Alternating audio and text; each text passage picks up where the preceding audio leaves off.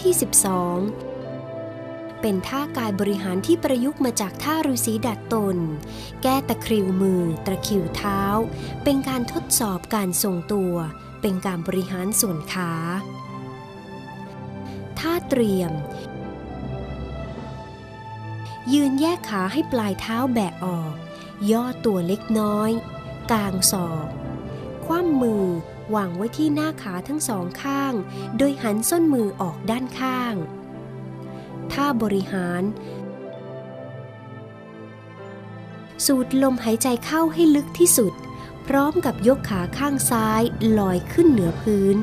และต้านการกดของมือซ้าย โดยให้หลังตรง เข่างอ ปลายเท้ากระดกขึ้น กลั้นลมหายใจไว้สักครู่ พร้อมกับกดมือทั้งสองข้าง เน้นนิ่งผ่อนลมหายใจออก พร้อมกับวางขาให้อยู่ในท่าเตรียม เริ่มต้นทำใหม่ แต่เปลี่ยนเป็นยกขาข้างขวาทำซ้ำเช่นเดิม สลับซ้าย ขวา นับเป็นหนึ่งครั้งทำซ้ำห้าถึงสิบครั้ง